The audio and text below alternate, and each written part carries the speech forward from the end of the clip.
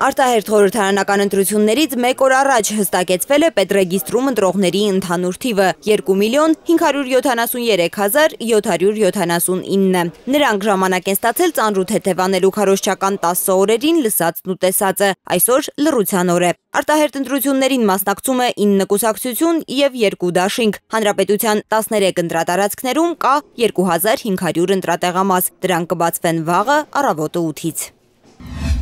Հայաստանի դատավորների միությունը հայտարարություն է տարածել, արձագանքելով վերջին օրերի ընթացքում զանգվածային լրատվության միջոցներով հնչող ըստ իրենց ձևակերպման դատական իշխանության հեղինակությունը նսեմացնող դատավորների պատիվն ու արժանապատվությունը արատավորող արտահայտություններին։ Դատավորների միությունը կոչ է անում գիտակցել արդարադատության իրականացման գործում դատավորների մեծ պատասխանատվությունը եւ ձեռնպահ մնալ դատավորների հեղինակությունն արատավորող եւ հանրության արչեւ նրանց անաչառությունը կասկածի տակ դնող հրապարակային արտահայտություններ անելուց։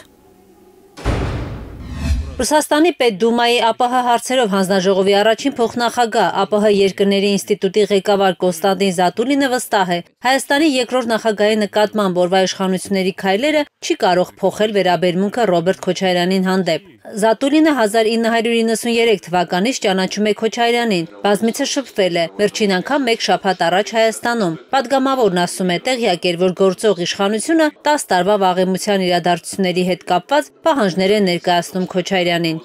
Я не вмешиваюсь, безусловно. Ես անկասկած չեմ միջամտում ոչ նախընտրական պայքարին, ոչ էլ ներքին գործերին, ավելին որքանով տեղյակ եմ, ինքը Ռոբերտ Քոչարյանն էլ ոչ մի կերպ չի մասնակցել եւ չի մասնակցում նախընտրական քարոշչությանը։ Սակայն ես Հայաստանի համար խայտարակություն եմ համարում այն, որ այս տարվա գարնանը եկած իշխանությունը հաշիվներ է մաքրում եւ վրեժխնդիր է լինում մի մարդուց, որը մեծ արժանինքներ ունի եւ Լեռնային Ղարաբաղի եւ Հայաստանի արչեւ։ Զատուլինի խոսքով ցանկացած նախագահի գործունեություն զերծ չէ քննադատությունից։ Միաժամանակ հիշեցնում է, որ Հայաստանի սահմանադրությամբ նախագահները անձեռնմխելիություն ունեն это дело, безусловно, судебных инстанций. Не только... Անշուշտ ոչ միայն Հայաստանի, այլև միջազգային դատական ատյանների գործն է գնահատելը Ռոբերտ Քոչարյանի կալանավորման գործում խախտվել են արդյոք նրա սահմանադրական արտոնությունները, սակայն զուտ մարդկայնորեն կարող եմ ասել, որ այս իրադարձությունը չի կարող խոր հիասթափություն չառաջացնել, այսպես կոչված Թավշյա հեղափոխության առաջնորդներից, որոնք քաղաքական պայքարի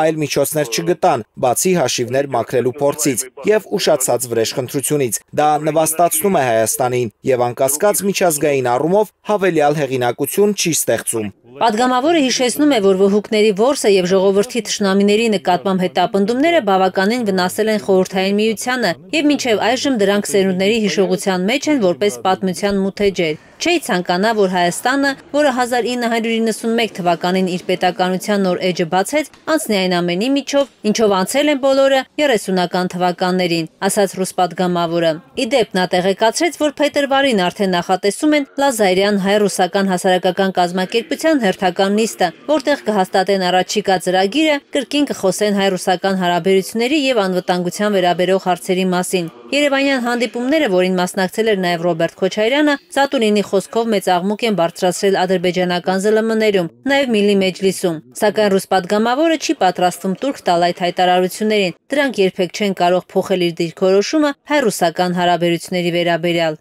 Կարնե Մանգասարյան, Հայլուր։ ՀԱՊԿ նոր գլխավոր քարտուղարի հարցը պետք է լուծվի մինչև տարեվերջ, հայտարարել է Բելարուսի նախագահի մամուլի քարտուղար Նատալիա Էյսմոնտը։ 5 շաբթի Բելարուսի նախագահ Ալեքսանդր Լուկաշենկոն Եվրասիական բարձրագույն տնտեսական խորհրդի նիստից հետո լրագրողներին ասել էր, թե կողմերին հաջողվել է պայմանավորվել ՀԱՊԿ-ի նոր գլխավոր քարտուղարի հարցում եւ պաշտոնը կարող է զբաղեցնել Բելարուսի ներկայացուցիչը։ Այս հայտարարությունը հերքել էր Հայաստանի վարչապետի մամուլի խոսնակը։ Դրան հաջորդել էր նաև Ռուսաստանի նախագահի մամուլի խոսնակ Դմիտրի Պեսկովի հայտարարությունը, թե կառույցի գլխավոր քարտուղարի նշանակման հարցը դեռ լուծված չէ։ Տիգրանակերտ զորավարժարանում հրետանավորների զորախաղեր էին։ Կրակի կառավարում մարտական հրաձգությամբ վարժանքից հատվածները հրապարակել Արցախի պաշտպանության բանակի մամուլի խոսնակը։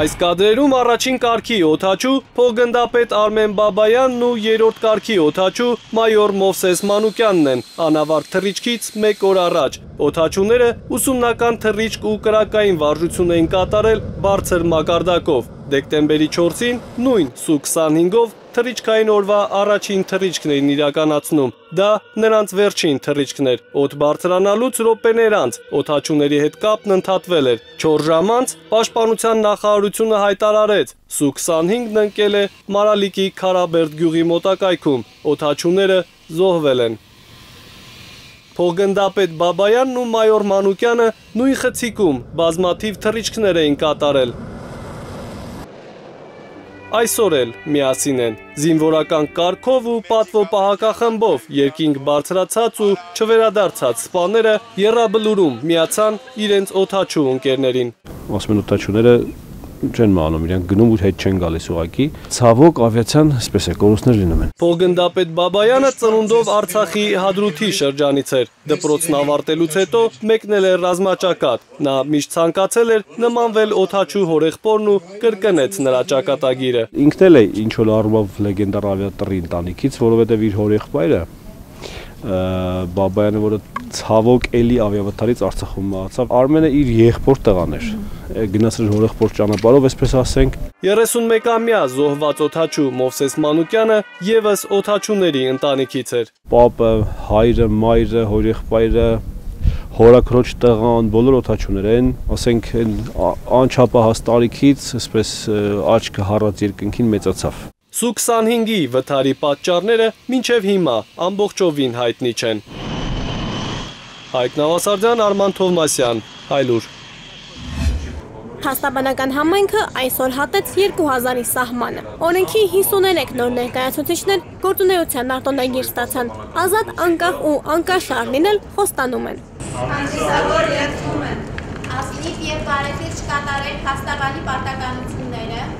5-ամյա փաստաբանական դպրոցը տարեկան 200-նի մորթ է ունենում։ 50%-ն է ընդունվում, 30%-ը դուրս է մնում ցածր առաջադիմության պատճառով։ Փաստաբան լինելը պարզվում է բոլոր տեսանկյուններից է շահավետ։ Բազմաթիվ պրոֆեսիոնալ մասնագետներ ձգտում են դառնալ փաստաբան։ Ինչու՞։ Որովհետև փաստաբանի մասնագիտությունը հնարավորություն է տալիս լավ վարձատրվել, փաստաբանը անկախ է, ազատ է եւ կարողանում է այդ իր այսօրվա երաշխիքների արդյունքում նորմալ գործունեություն ծավալել։ Կրթությունը երկու փուլով է՝ տեսական եւ գործնական։ Փաստաբանական դպրոցի շրջանավարտները մինչև մարտոնագիր ստանալը 3 քննություն են հանձնում։ Դպրոցում իրենց աշակերտներին վստահում են։ Անում ենք ամեն ինչ, որպեսզի մեր կադրերը լինեն անաչառ եւ օբյեկտիվ իրենց գործունեությունը իրականացման մեջ։ Լիլիթը իրավաբանական կրթություն ունի։ Ուզում է ամեն օր աշխարհը ավելի լավը դարձնել։ Ասում է ոչ քննությունները, ոչ էլ սովորելը հեշտ չի եղել։ Փաստաբանական դպրոցում սովորելը չպետք է լինի հեշտ, որովհետեւ փաստաբանի մասնագիտությունը չափից ավելի լուրջ եւ չափից ավելի պատասխանատու մասնագիտություն է հեշտ քննություններ ունենալու եւ հեշտ քննությունները անցնելու համար։ Լիլիթը ծանոթանալիս այսուհետ փաստաբան կներկայանա։ Անահիտ Հոմանիսյան, Հենրիկ Սարգսյան, Հայլուր։ ՄԻՊ-ը ոստիկանությունից պարզաբանումներ կպահանջի իրավապահների կողմից News-AM լրատվամիջոցի գրասենյակ այցելելու դեպքով։ Պաշտպանի գրասենյակը սկսել է քննարկման ընթացակարգ սեփական նախաձեռնությամբ։ Օմբուդսմենի հայտարարության տեքստում գրված է նաև, որ լրատվամիջոցների ու լրագրողների մասնագիտական աշխատանքին միջամտելու ցանկացած դեպք մարդու իրավունքների պաշտպանի անմիջական ուշադրության տակ է։ Ուսումնական հաստատությունների աշխատակիցների գործունեության ընթացքում առերևույթ կատարված հանցագործությունների դեպքերի արդիվ հարուցված քրեական գործերով պետությանը պատճառված հիմնավորված վնասի չափը կազմել է ավելի քան 39 միլիոն դրամ, որից վերականգնվել է 35 միլիոնից ավելին։ Հարուցված քրեական գործերով 42 անձ ներգրավել է որպես մեղադրյալ։ Նրանցից 20-ը եղել են ուսումնական հաստատությունների տնօրեններ, մեկը պրոռեկտոր։ Շևչենկոյի անվան թիվ 42 դպրոցի ուսուցիչների հարաբերություններից ու տնորենի աթորի համար պայքարից տուժում են դպրոցի աշակերտները։ Երկու խմբի բաժանված ուսուցիչները դասապրոցեսը վերածում են քարոզարշավի, աշակերտներին էլ վիրավորում են։ Ծաղրելը երեխային, համբալ անվանելը, ոչ լոտ անվանելը եւ այլ շատ ավելի բառեր, որոնք ես արդեն ամանչում եմ բարձրաձայնելու նույնիսկ կամ երեխային ասել դարձնեմ քեզ բոքսի տանձիկ փորդ վրեդ պարապեմ։ Բողոքում են 11-րդ դասարանի հայոց լեզվի ու գրականության ուսուցչուհուց։ Ծնողի խոսքով Մայա Հովանիսյանը հորդորել է անչափահասներին մասնակցել ԼԳԲՏ համայնքի շքերթին։ Աշակերտներն էլ բողոքել են, ինչի հետևանքով եղել են վիրավորանքներ։ Այս մասին հայտնել են նաև կրթության ու գիտության նախարարությանը։ Ժողովի ժամանակ փոխնախարարը հանկարծակի դուրը բացում է, տեսեք ինչ հետաքրքիր բան են պատմում։ Ես վրթոված այդ համասեռամոլների ես ասեն չի խոսում, ես այնց շատ ողքեվորված եւ այդ բայն դուրը բացում ասում է ինչ ա եղել, ինչ համասեռամոլներ, ասի տիկին Արաքելյան, նստեք պատմեմ։ Ու ինքը նստեց։ Ես պատմեցի, պատմեցի, պատմեցի, ինձ վերջում սենց արեց։ Հա ինչ անենք։ Ծնողները դիմել են տնորենին, ուսուցչուհուն աշխատանքից ազատելու ստորագրահավաք արել։ Հիմա, չնայած այլ ուսուցչուհի է 11-րդցիներին դասավանդում, բայց Հովանիսյանը դպրոցում է։ Ծնողներն ասում են, գնալու են մինչև վերջ, որ Մայա Հովանիսյանը այլևս երեխաների չկրթի։ Հոկեբանի խոսքով դպրոցում այս ֆիզիկական ու հոկեբանական ճշումները հետագայում իրենց պտուղները տալու են հասուն տարիքում ունենում են վստահության խնդիր։ Նույնիսկ զուգընկեր ընտրելու դեպքում ունենում են վստահության խնդիր, չեն կարողանում որոշում կայացնել։ Մայա Հովանիսյանը հերքում է երեխաների պնդումները։ Ծնողները դիմել են ոստիկանություն, ներկայացրել են նաև տեսագրություն ու ձայնագրություններ։ Քրեական գործ կա, նախաքննության փուլն անցել է։ Աքսանա Հայրապետյան, Նորայր Շարբաթյան, Հայլուր։ Դեղին ժիլետների ակցիաները Փարիզում նոր թափ են ստացել։ Հաղթանակի կամարի ու Ելիսեյան դաշտերի մոտ ցուցարարները շշեր եւ քարեր են նետել ոստիկանների ուղությամբ, նրանք էլ արցունքաբեր գազ են օգտագործել։ Տուժածների մասին տեղեկություն դեռ չկա։ Ոստիկանությունը արդեն բերման է ենթարկել ավելի քան 480 ցուցարարի, նրանցից 211-ին ձերբակալել են։ Բենզինի թանկացման դեմ բողոքի դուրս եկած դեղին ժիլետավորները Ֆրանսիայի տարբեր մասերում բախվում են ոստիկանների հետ։ Չնայած, որ այս շապատ իշխանությունները զիջումների են գնացել եւ վառելիքի գների բարձրացման գործը սառեցրել 6 ամսով, ցույցերը չեն դադարում, դրանք վերաճել են իշխանապողության պահանջի։ Իտալիայի Անկոնա քաղաքի ակումբներից մեկում հրմշտոցի հետևանքով 6 մարդ մահացել է, մոտ 35-ն էլ վիրավոր են, նրանցից 12-ի վիճակը ծայրահեղ ծանր է։ Ոստիկանությունը հայտնում է, որ միջադեպի պատճառը անհայտ նյութի տարածումն է եղել, ինչի պատճառով էլ ակումբում խոճապ է սկսվել։ Լրատվամիջոցները հայտնում են, որ անհայտ նյութը հնարավոր է տարածվել է, որպեսի խոճապի ժամանակ գողություն կատարվի։ Ականատեսները պատմել են, որ ակումբի վթարային դռները փակ են եղել, ինչի հետևանքով էլ նման ողբերգություն է գրանցվել։ Բրազիլիայի Արակատի քաղաքում բանկ թալանելու անհաջող փորձի հետևանքով 12 մարդ է սպանվել։ Ոստիկանությունը հայտնում է, որ մահացածներից 6-ը պատանդներ են եղել, նրանցից երկուսը երեխաներ։ Այս պահին դեռ հայտնի չէ պատանդներին սպանել են հանցագործները, թե նրանք զոհվել են փոխհրաձգության հետևանքով։ Բանկի վրա հարձակման հանցախմբի երկու անդամ էլ ձերբակալվել է։ ԱՄՆ նախագահը ՄԱԿ-ի անվտանգության խորհրդում ԱՄՆ մշտական ներկայացուցիչ է նշանակել պետքարտուղարության խոսնակ Հիզեր Նոերթին։ Նրա տեխնացությունը դեռ պետք է հաստատի Սենատը։ Պետքարտուղար Մայք Պոմպեոն գոհ է ԱՄՆ նախագահի նշանակումից, հայտարարելով, որ Նոերթը մշտապես կարևոր դեր է խաղացել ԱՄՆ-ի արտաքին քաղաքականության առաջխաղացման համար։ Նոերթն իր հերթին հայտարարել է, որ անհամբերությամբ սպասում է, թե երբ է անցնելու նոր աշխատանքին։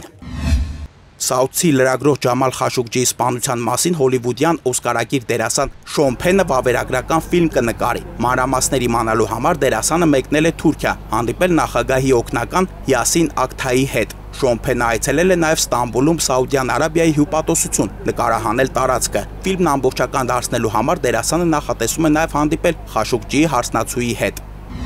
Տրանսպորտի նախարարությունից հայտնում են Վարդենյանց լեռնացքում տեղ-տեղ մերկասառույց է եւ մառախուղ։ Տեսանելիությունը 40-ից 50 մետր է։ Ծանրաքաշ ու կցորդիչով տրանսպորտային միջոցների համար Վարդենյանց լեռնացքը փակ է։ Ճանապարհները մաքրվում են եւ աղով եւ ավազով մշակվում։ Նախարարությունից հաղորդում են. Ստեփանցմինդա Լարս ավտոճանապարհը բաց է տրանսպորտային բոլոր միջոցների համար։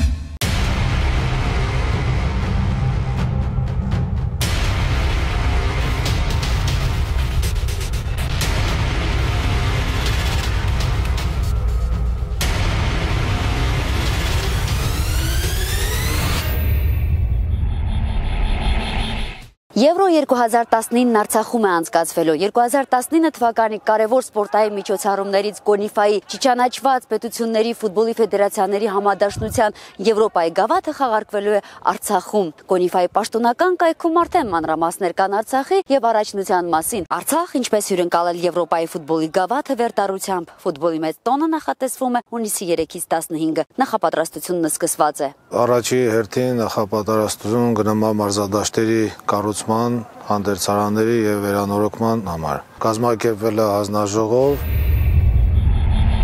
Նոր տեսք կստանան Ստեփանակերտի, Ասկերանի, Մարտակերտի, Ճարտարի մարզադաշտերը, իսկ թե քանի թիմ են հյուրընկալելու կհաստատվի հունվարին։ Հունվարում գագաթնաժողովի ժամանակ կորոշվի 12 թիմը, բայց հայտերը շատ է մասնակցելու համար։ Այսօրվա դրությամբ 14 հատ հայտը ունենք եւ 7 հատն էլ քննարկման մեջ է։ Ամեն ինչ անելու ենք, որ մենք առաջ կգրավենք։ Արցախը Եվրո 2019-ին ներկայացնելու է Լեռնային Արցախ թիմը։ Մարզվում են միայն լեռնցիներին հատուկ կամքով անկախ եղանակային պայմաններից հաղթելու որոշմամբ։ Ֆուտբոլային աննախադեպ հրավառությանը 180 օր է մնացել։ Ծովինար Բարխուդարյան, Տիգրան Գասպարյան, Արցախ։ 2 1 0 Սուրբ Ծննդյան հնդկահավը միջազգային տիեզերակայանի ճանապարհին է։ Նրա հետ նաև նոր տարվա այլ պարագաներ։ Ամերիկայի Ֆլորիդա նահանգից են ճանապարհել։ SpaceX ընկերությունը գործարկել է Falcon 9 հրթիռը, որը բացի ամանորյա սննդից իր հետ տիեզեր կտանի նաև կենթանի մկներ եւ ճիճուներ։ Տիեզերքում ստուգելու են, ինչ արագությամբ են նրանք ծերանում։ Ձմեռն այսօր մեկ հարկի տակ էր հավաքել հայկական ձեռագործ աշխատանքները։ Արդեն 10 տարի է Մարիաննան նրանց, ովքեր կարողանում են գեղեցիկ ստեղծագործել, տալիս է հնարավորություն սեփական արտադրանքը սպառողին ներկայացնելու։ Շատ դժվար է եղել, ինչպես բոլոր նախաձեռնություն, բայց տարիների փորձը ցույց տվեցին, որ միջոցառումը հաջողվել է եւ մարդիկ հիմա ինձ միշտ հարց են տալի, դուք եք մարդկանց գտնում, թե ձեզ են։ Հիմա արդեն ինձ են գտնում։ Ցուցահանդեսին հեղինակները վաճառում են ամանորյա խաղալիքներ, տիկնիկներ, հուշանվերներ, նաև հագուստ ու աքսեսուարներ։ Ասում են առաջ հնարավորություն չունեին, բարեկամների, ընկերների միջոցով են վաճառել։ Հիմա ուրախ են, արտադրանքը վաճառելու եւ ներկայացնելու տեղ կա, բայց նաև դժվարությամբ են բաժանվում իրենց ստեղծածից։ Այսա, ռատատույե, որ իր հետ շատ դժվար կբաժանվեմ, շատ սիմպաթիաս պետքա բռնի այդ մարդուն, որ իրան ես սա վաճառեմ։ Ցուցահանդեսին ներկայացված են նաև մանկատան սաների, սահմանամերձ գյուղերի կանանց եւ հաշմանդամություն ունեցող երեխաների ձեռքի աշխատանքները։ Կա նաև համեղ սրահ։ Ամեն մի խոհանոց, ինչպես տեսնում եք, ներկայացնում է տարբեր երկրների խոհանոց, փորձում ենք չկրկնվել, ունենք ճապոնական, ունենք գենացվալներ, մտերիմ դրացիները, ունենք նաև հայկական խոհանոց։ Ցուցահանդեսը նաև բարեգործական է։ Ավարտին տեղի կունենա վիճակահանություն, որի հասույթը կտրամադրվի մանկատան սաներին։ Լիլիթ Խալացյան, Ջուլիա Մարկարյան, Հայլուր։